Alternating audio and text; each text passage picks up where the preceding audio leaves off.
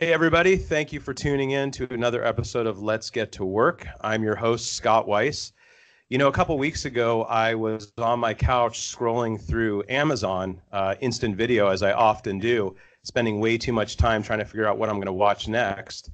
When I came across a trailer for a documentary called Charged, and I thought it looked really interesting. So I queued it up and was fortunate enough to watch the entire documentary, the story of Eduardo Garcia.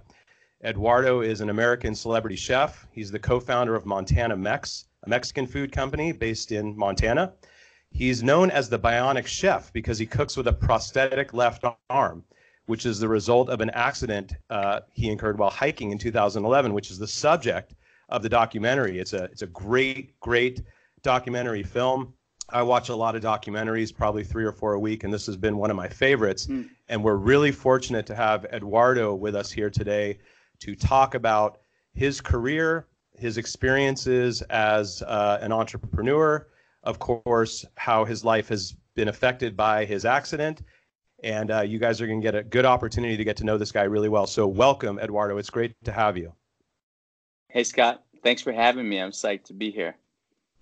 So, Eduardo, let's jump right in. You went, you grew up in Montana. Um, I understand uh, your father. Why don't you give me a little bit of, of, about your background in terms of your childhood, and then take us up to the point of where you moved to Seattle to go to school at the Art Institute? Yeah, sure. So, um, I guess a, a lesser known fact, you know, I'm definitely Montanan through and through. Um, sort of, you know, I've been in the state since '86, but I was born in Van Nuys, California, and um, yeah, at the young bushing age of six, we moved to Southwest Montana.